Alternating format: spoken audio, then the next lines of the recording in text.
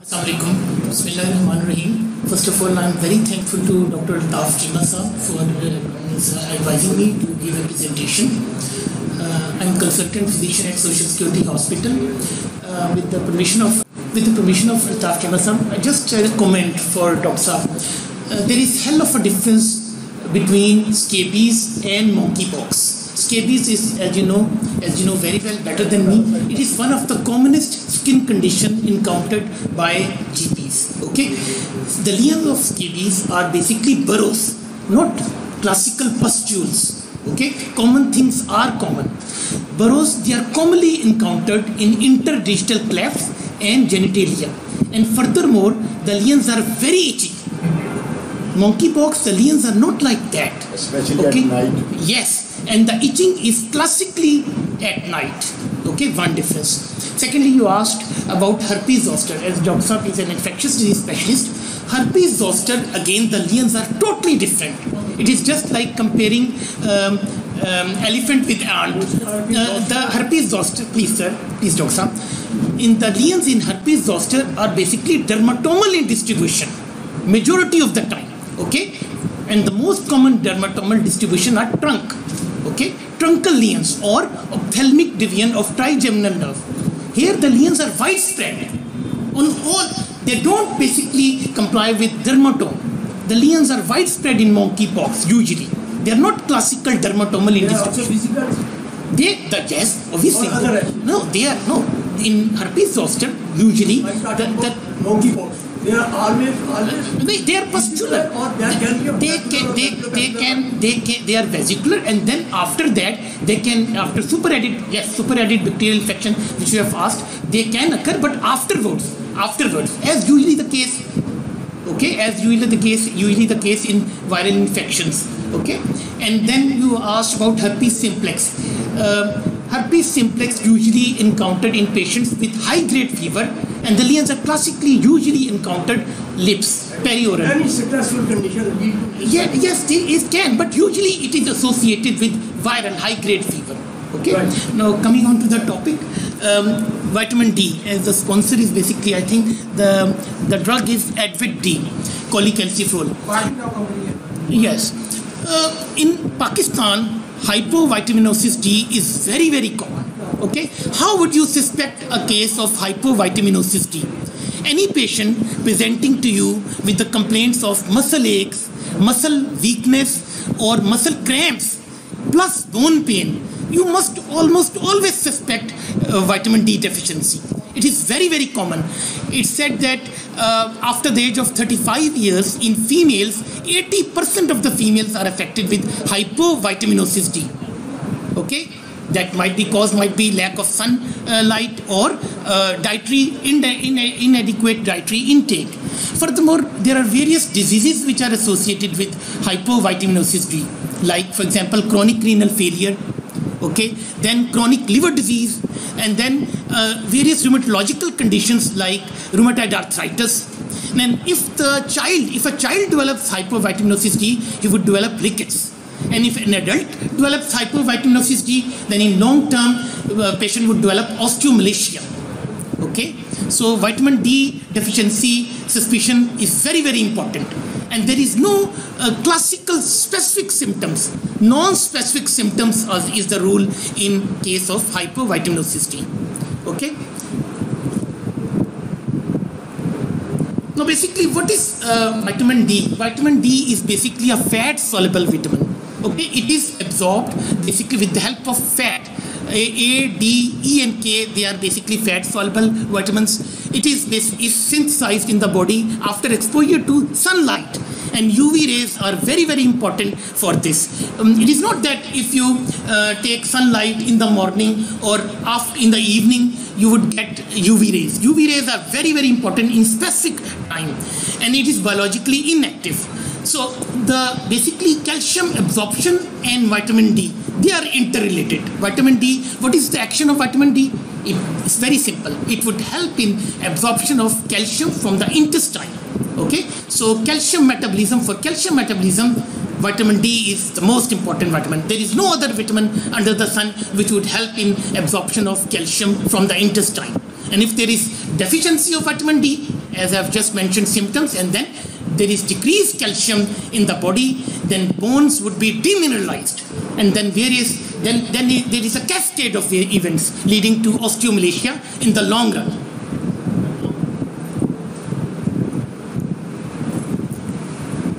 as I've just mentioned that it helps in basically the normal differentiation of cells and then furthermore immunity. It helps in the formation of, in enhancing immunity.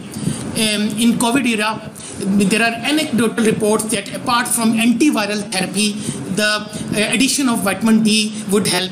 But uh, again, it is an evidence-based era. Okay, if there is no evidence, then I think the medicine should not be given. It is not antiviral, but it is a good supportive treatment. You see, as it enhances the immunity. And that is why it has also been shown uh, that hypovitaminosis D is present in various autoimmune diseases. What are autoimmune diseases? Autoimmune diseases are those diseases in which the body itself produces antibodies against the body's own organs. Okay? Like, for example, SLE, rheumatoid arthritis, scleroderma. The various antibodies are produced in the body against the body's own organs. So all the autoimmune diseases in which the bones are involved or joints are involved, vitamin D deficiency must be suspected. And I have just mentioned, enumerate various symptoms uh, in which you must do vitamin D. And furthermore, against I, would stress that this is an evidence-based era. Please, please don't start vitamin D straight away. First of all, get the levels. And if if the levels are doctor please if the levels are decreased then start and get the levels from uh, that lab on which you rely get it from most authentic lab under the sun the labs we see, various labs are just like waste paper baskets. Can you name someone?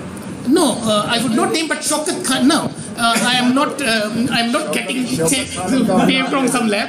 Shaukat Khanum is the most reliable in my practice. Uh, yes, but uh, again, but again, there is a problem. If you take on a general perspective, for example, blood sugar, if you delay if the lab delays the in, uh, uh, uh, interpretation of blood sugar, then blood sugar can be erratic. So that lab, get the test from that lab which would do straight away. Sugar, I'm talking about sugar, not vitamin D level. Furthermore, Aga Khan, you have mentioned, I think it's also good. Sir, again, I have done a study, I would share with you. Uh, glucometers are not very much reliable. I'm not talking about all. I would advise please after some time after a few months advise the patient to get the uh, blood sugar from glucometer and at the same time from a good lab and then compare. This is very very important. Because uh, please just allow me. I would not run away. Uh, why? Why i'm saying that? Because it can be dangerous for the patient. And if the levels are different there is sky high difference then either the lab is wrong or glucometer is at fault. And i've seen lot of patients having this problem. That's right. so this is basically to compare this glu- your glucometer. And if the glucometer readings are nearly uh, matching then it's okay. Um, you can ignore lab and advise the patient. Furthermore if the patient's blood sugar is normal there is no need of pricking because uh, pulp space infection is very common in uncontrolled diabetics and controlled diabetics as well then this can spread to palmer uh, uh, palmer palmer space as well Actually, palmer एक और चीज़ है that depends upon the quality ये जो China के कुछ आए हुए हैं वो I agree. अगर अच्छी कंपनी है दो तीन अच्छी. कंपनियाँ हैं या कंटूर जो है दो तीन वो अच्छी कंपनी का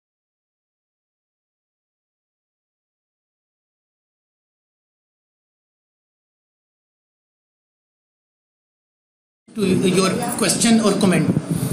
First of all, in, a person who is not a non-diabetic, never ever rely on, it is not advisable. Please show me any guidelines, sir. Uh, I would uh, ask your attention, please. If a person is not a non-diabetic, always, almost if you're suspecting diabetes, get the venous blood sugar level, not the capillary blood sugar level.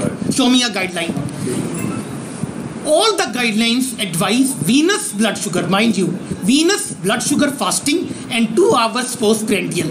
and hemoglobin A1C if you have just uh, said. But again, hemoglobin A1C, how, how it would it tell about the recent?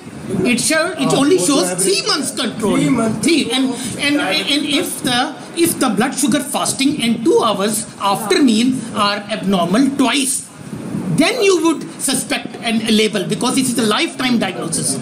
So it cannot be a patient cannot be labeled just by glucometer. So I've just mentioned about the calcium balance that the, the calcium, PTH level, and phosphorus they are interrelated with vitamin D. Again, it's said that uh, a few studies have shown that hypovitaminosis D is associated with cardiac diseases as well. Okay? I've just mentioned that it's a fat soluble vitamin, so it's excreted in bile and then metabolized to water soluble metabolites and then excreted in urine. And uh, sources in America and other European countries developed for fortified, and here as well now, fortified foods are available. Dairy products they contain uh, supply of good supply of vitamin D, and then the excellent excellent supply I've just mentioned that UV rays of the sun they are very very important. But sunscreen, um, dermatologists are very they're basically very fond of advising sunscreen. That uh, basically is a risk factor also in as a, for a case of hypovitaminosis D. Then altitude, uh, clouds, and then sunscreen I've just mentioned.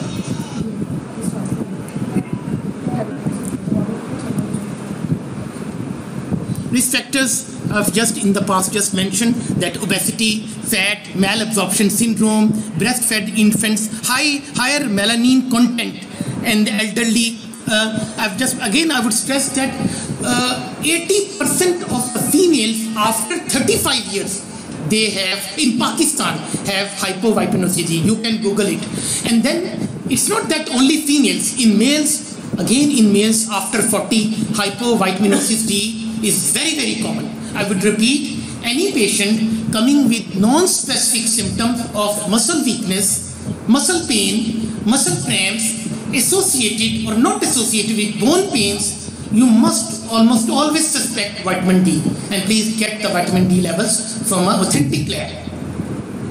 Then there is genetic susceptibility, susceptibility also, but it's very, very rare.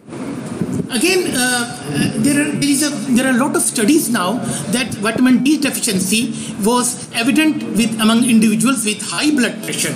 Okay, and I've just mentioned um, a few minutes back that uh, 62% higher risk of cardiovascular events in participants with low levels of vitamin D compared to those with higher levels. Okay, but um, common things are common. What are the persons having ischemic heart disease? Most common diabetes mellitus hypertension hyperlipidemia smokers okay? They are more common. If you uh, if you're saying if you say that in an exam and dr Sabha is not here now is going to appear in fcps that most common cause of the ischemic heart disease is hypovitaminose d then she would, the person would definitely fail okay? This is a talk uh, any any vitamin there can be deficiency or there can be hypervitaminosis also. So hypervitaminosis D is also um, can be present if a person is taking very high dose. Okay, as just mentioned, 40,000 international unit per day for one to four month old and 50,000 international per day for adults for several months. So it is not, it should not be given like this. 50,000 in the case if the patient is deficient, then 50,000 after 15 days would suffice. Okay, or they have got 2 lakh units, I think so. Again, I would say that it should be given after one month. And follow up tests are very, very important. Okay, why a blood test is advised? It's just mentioned on the slide that what is the basically recommendation for adults 200 to 400 international unit per day is advisable okay